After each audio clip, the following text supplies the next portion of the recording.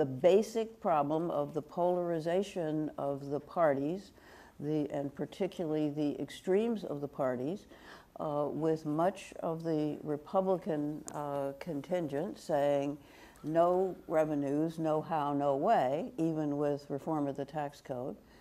A very small crack in that with the Toomey proposal uh, a week or so ago, but not a big crack. Uh, and on the other side, uh, a lot of Democrats uh, saying uh, no changes uh, that would affect Medicare beneficiaries uh, or Social Security recipients um, ever. those are very difficult positions since actually we have to do both those things. Uh, but uh, I think there was a failure of leadership. If the, if the leadership, including the president, had really wanted this to happen, I think they could have made it happen. But they couldn't sell it to their caucuses. Uh, they went back and tried to, uh, and uh, the answer was, was no. We're not, the Republicans, we're not voting for tax increase, not enough of us and uh, from the Democrats, we're not voting for uh, entitlement cuts.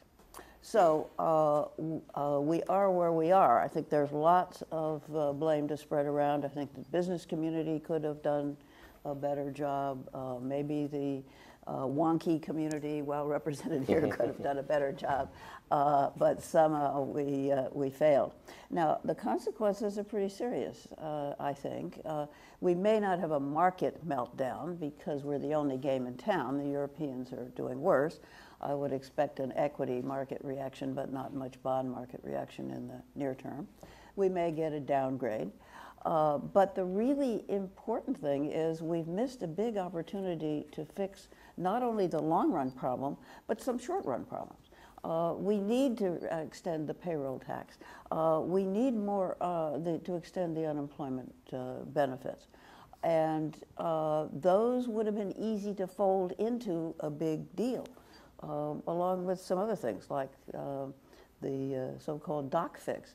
Uh, now those have to be done separately and may not be done at all. So uh, those of you who know me know that I'm generally an optimist. I am not an optimist today. I think this is a very serious defeat.